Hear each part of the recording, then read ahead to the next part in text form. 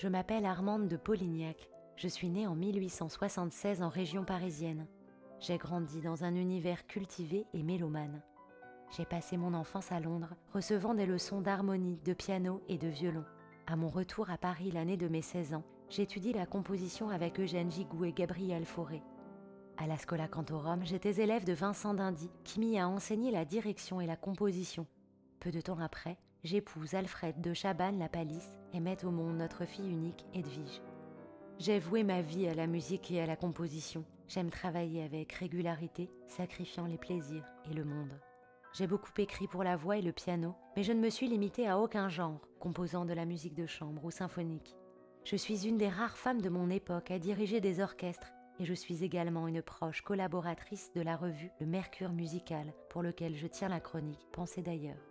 Mes voyages en Orient ont ouvert mes horizons musicaux et ont parfois inspiré mes compositions, comme dans ma suite symphonique Les Mille et Une Nuits, que j'ai moi-même dirigée et dont j'ai réalisé cette version pour quatre mains.